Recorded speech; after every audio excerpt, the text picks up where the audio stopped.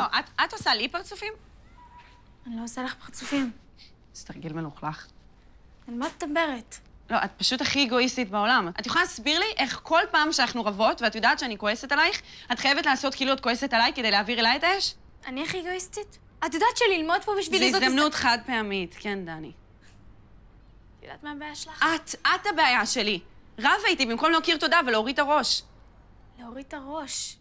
אולי תורידי לי את הראש כמו שהורדת לעלמה? ועל מה? על מה? על זה שהיא העיזה לא לתת לך יחס מועדף? את יכולה להסביר לי איך היא קשורה לזה? היא קשורה לזה כי בגללך אח שלה ייפגע. בגלל העצלנות שלך, ואבא שלך והקשרים שלו... אבא שלי והקשרים שלו. אז תני להזכיר לך, דני, שבזכות אבא שלי והקשרים שלו את נמצאת פה. אני צריכה להוריד את הראש בפנייך.